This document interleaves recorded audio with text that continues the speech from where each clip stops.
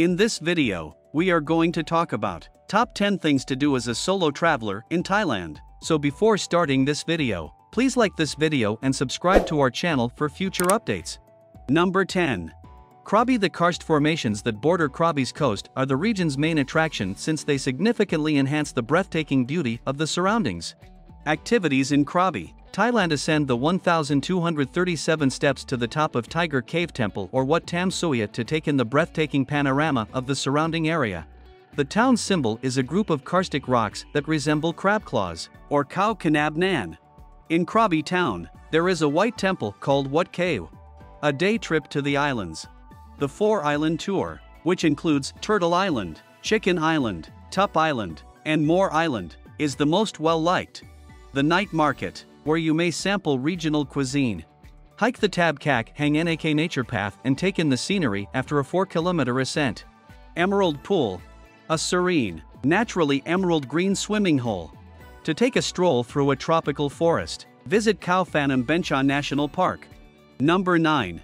Isan tourists in Thailand tend to ignore Isan, a province to the northeast of Bangkok. Yet, if you want to venture off the beaten path or have previously traveled to Thailand's more well-known tourist destinations, this is a fantastic spot to go. One of the most stunning national parks in the world and a UNESCO World Heritage Site, Khao Yai National Park is located there. This expansive 2,100 square kilometer region is great for hiking and is home to a variety of wildlife, including tigers, leopards, and pythons, which are, I must say, a little frightening in addition to birds and gibbons. The city of Nang Rong and its Khmer temples should not be missed when you are in the area. Though less well known than the Angkor temples in Cambodia, they are nonetheless worthwhile to visit. You must visit Phanom Rung Historical Park to admire them. It dominates the surrounding area and is home to multiple temples because it was constructed on the summit of a volcano. Number 8. Mae Hong Son Province One of Thailand's most remote provinces is Mae Hong Son. It is located close to Burma's border. The most well-known city in this area, Pai, approximately 145 kilometers northwest of Chiang Mai. Both tourists and Thais, who don't hesitate to travel all the way from Bangkok. Like it. There are no significant tourist attractions. Folks only travel to Pai for its distinct hippie and bohemian lifestyle as well as to unwind and take in the breathtaking scenery of the region. Also, there are many options available if you wish to go out at night to eat or drink. Last but not least, Pai is renowned for its involvement in the narcotics trade. Near Pai, there are a number of waterfalls, hot springs, a few temples, and Pai Canyon, which is renowned for being a great site to watch the sunset. Number 7. Trek in the northern mountains You ought to go on a trek while you're on vacation in northern Thailand. This area is ideal for these kinds of activities. Several tour operators provide treks of varied lengths and challenges to explore the highlands and get to know the local ethnic groups. You can go to the villages of the Akha, Karen, a group renowned for its ladies with long necks, also known as giraffe women, or Kahu, and perhaps even spend the night there. More and more often, these excursions are planned with a focus on morality and sustainable growth, for the most part, at least. Scholarships or health center financing are two uses for the funds raised. Number 6. Chiang Rai The other significant city in northern Thailand is Chiang Rai. It lies 200 kilometers northeast of Chiang Mai and offers a daily flight from its airport to Bangkok or southern islands like Phuket or Krabi. There is no train station, but you can get there by bus or automobile, the nearest one is in Chiang Mai. Things to visit in northern Thailand's Chiang Rai as a solo traveler. One of the primary draws for tourists to this city is unquestionably the White Temple, also known as Wat Rong Khun. The White Temple is well known around the world, and I must say that it has earned its reputation. It really is stunning.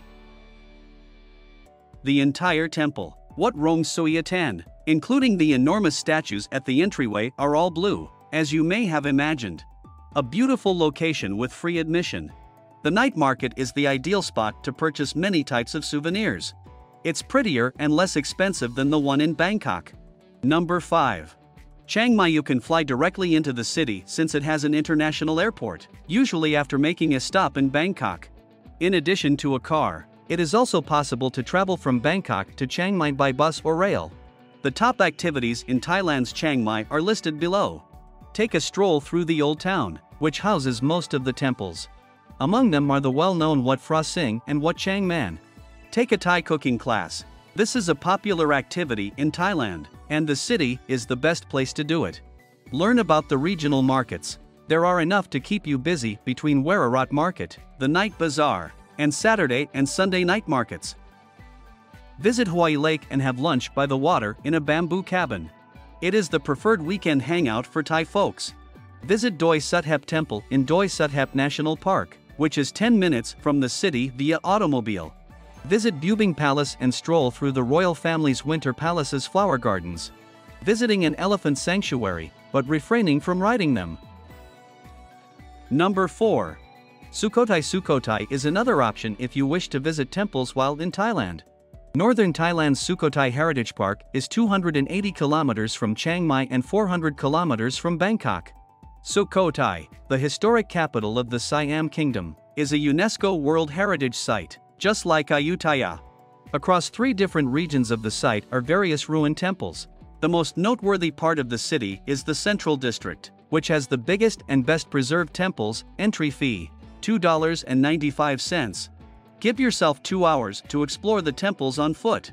Although renting a bike is an option, it's not really practical for traveling such short distances. The North Zone, admission $2.95, mostly consists of two temples, the most notable of which is a massive sitting Buddha that stands 15 meters tall. You'll need a bike or a car to get there from the core area. Number 3. Lopburi if you're looking for the greatest activities in Thailand as a solo travelers around Ayutthaya, you can head to Lopburi, which is a one-hour drive away. A few abandoned temples can be found in Lopburi, one of the nation's oldest cities. These aren't the major draw there, though. The vast number of monkeys that have colonized the area is what draws the majority of visitors.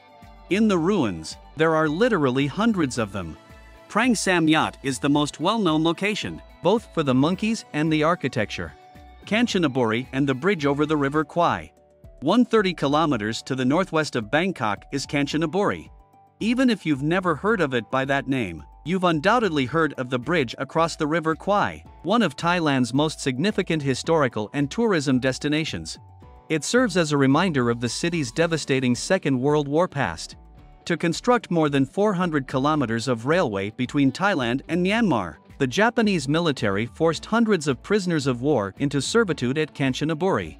Almost 16,000 people have perished during construction due to sickness, violence, and starvation. It was the sole steel bridge constructed in Thailand out of the 688 bridges constructed by the Japanese army. You should definitely travel to Kanchanaburi and its key attractions if you're interested in history. The Railway Museum, which provides information on the background of the death railway and the difficult living conditions of inmates. Number 1. Bangkok You will immediately notice the crowds, traffic, odors, and noises when you arrive in Bangkok. In other words, you will become completely engrossed in the energy of this vibrant metropolis. There is a considerable possibility you will arrive in or depart from Bangkok if you plan to travel to the north or center of Thailand. Spend two or three days there to help you acclimatize to Asia and recover from jet lag. Even though there are differing views on the largest Thai city, it is still a must see when visiting Thailand. The following are the top attractions in Bangkok for lone travelers. The Royal Palace or Grand Palace is a famous landmark and one of Bangkok's most popular tourist attractions. Wat Arun is a Buddhist temple that is situated across the river from the Royal Palace. The third most well-known temple in Bangkok is Wat Pho. The well-known, 45-meter-long statue of the reclining Buddha is located there. Once a backpacker district, Khao San Road is now frequented by all types of tourists. Bangkok is very lively and offers a variety of inexpensive places to stay, including stores, pubs, restaurants, and guest houses. The Golden Mount, the temple, which is perched atop a hill, provides a broad perspective of the entire city. Chinatown is a bustling neighborhood with many street vendors and shops. That's it for today. We hope you found our video interesting. If you did, please give it a big thumbs up and share it with others. Also, if you haven't already, please consider subscribing to our channel. Don't forget to turn on the notification bell so you don't miss any of our new uploads. In the end, thanks for watching and see you next time.